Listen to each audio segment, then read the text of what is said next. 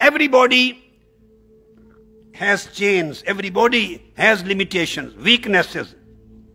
Don't, my dear daughters and dear sons, I always remain upset for you. I spent my whole life for you, for the Ummah of Holy Prophet, for the generation of Holy Prophet. You know, I have never done any any any business out of all these propagation, propagations and teachings and halaqas and hidayah and writing the books. I have not done anything. 550 books are published. You know, these are not my business. I don't receive a single penny. 8,000 lectures are in your hands. I don't receive any royalties. No, absolutely nothing. I have not done anything for myself. Whatever I can do with the command and with the will of Almighty Allah for just two things. Just to please my Lord and to please my beloved Prophet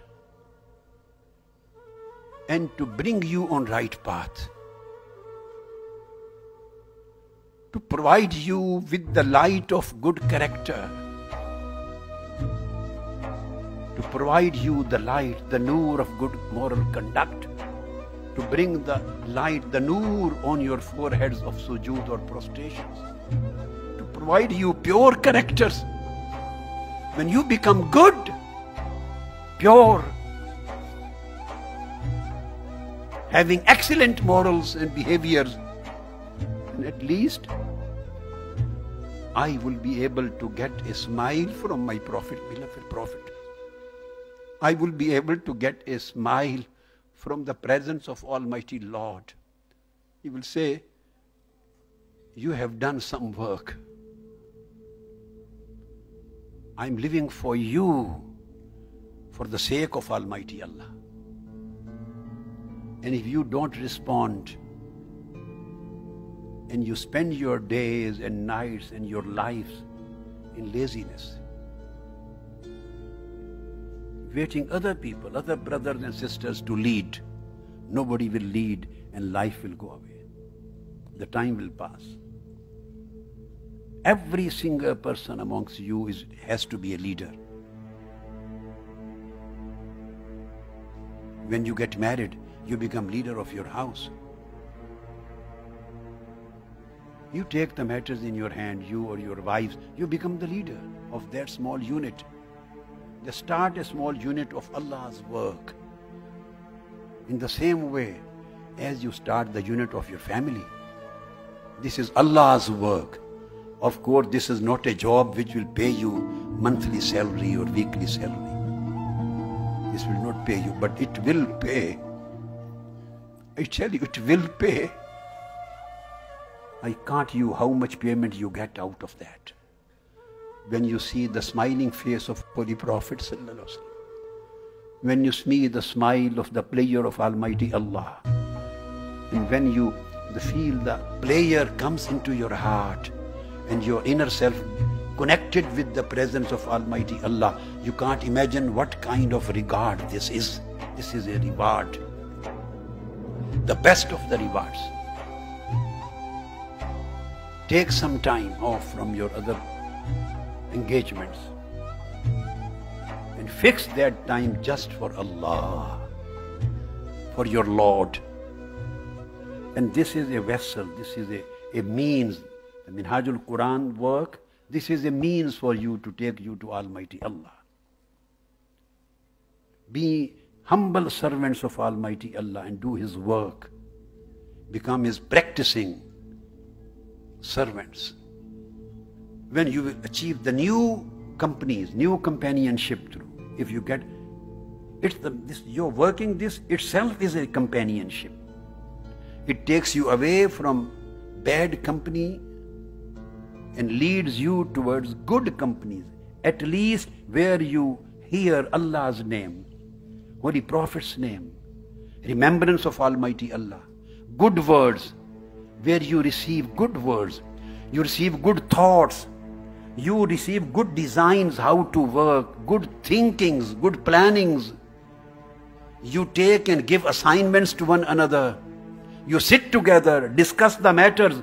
Matters about what? About Allah's work, about Holy Prophet's work. Allah will get will be pleased with you and Holy Prophet will be pleased with you.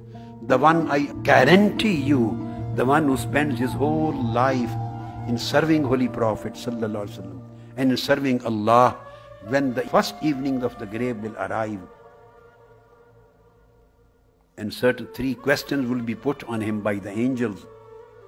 And the last question would be about Holy Prophet وسلم, who is he? Do you know him? Then I guarantee if you serve your whole life, spend your whole life in serving Allah and Holy Prophet Holy Prophet wills answer on your behalf, saying to angel, don't ask him, ask me. He is my beloved son. He is my sincere servant. He has been working throughout his life for me. He is my loyal servant. Just fix hours for every day. Fix some hours from every day of your life. Every day. And spend those hours just for the sake of Allah. Create your own job. Develop your libraries. Establish a halaqah with your few friends. Start the halaqah of Quran. Start teaching, discussing encyclopedia of the Holy Quran. Start the halaqah of Minhaj savi Start the halaqah now, the new book Jami'ul Ahkam is coming. Halaqah of Jami'ul Ahkam. Start the halaqah of your own learnings, your own subjects about the kids, about the Allah's work. You have hundreds of ways, hundreds of ways and means you can develop. Start the halaqahs for tarbiyah. How to make new friends and few members of this delegation, new traveler of this path, how to make a new traveler of this path, how to make a new companion in this path, how to convince him, how to go there, approach him, give him the message, get his response, do halaqah, do zikr and do fikr, remember reflection. You can create your own jobs, your own business, your own engagements. No need of waiting for any organizational unit. Nothing. Every single person amongst you is under liability. Every single person is a da'i. He is a caller. Every single person is an inviter. He has to give a call. He has to invite the other. And inviting, he has to look into himself, himself, that how much I am practicing about what I am inviting to. But this is a communication of your speech, your word and your deed, your outer self, your inner self. You are responsible for this purification process of your life. Nobody will come to purify you. This is the companionship which you have already received. Sit down on the on computer or on TV. Every day listen a part of lectures. Read some books. Read the Holy Quran with translation, with tafsir. Read the books of hadith, other books which you like. Listen some lectures. Take points from that. Make your notes. Become the speaker. Transform it. Transfer it to other. Convey it to other. Whatever you learn every day, convey it to some other people.